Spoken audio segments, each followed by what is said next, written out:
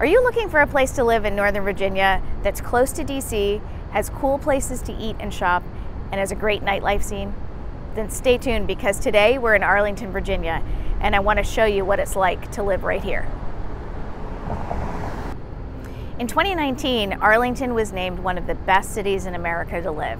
And honestly, it's one of my most favorite places in the Washington metro area.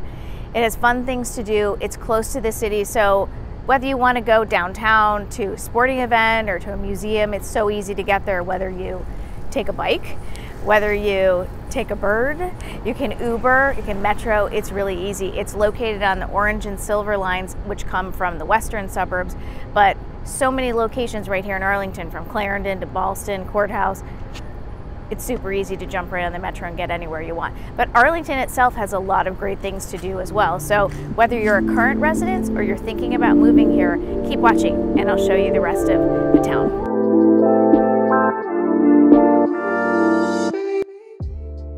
So one of the things that I love about Arlington is all of the locally owned restaurants and shops that are still here, even though there's been so much development that's gone on all around here it really gives Arlington such a small town feel, even though it's such a big urban center right outside of DC.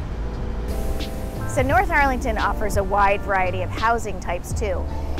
You'll find a lot of the original Ramblers that existed here and were built way back when.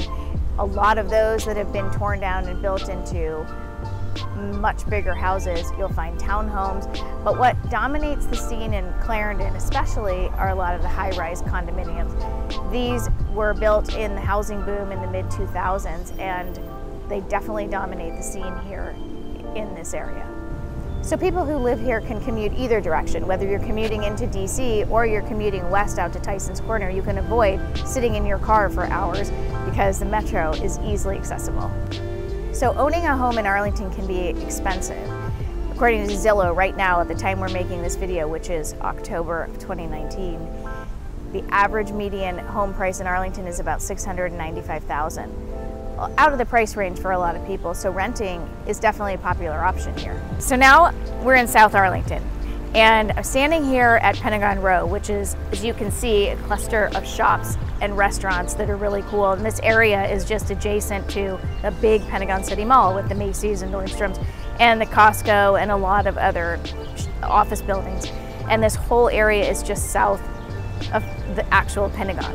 South Arlington has typically been much more affordable than than North Arlington, but a lot of more recent development has started here in South Arlington and is only going to continue.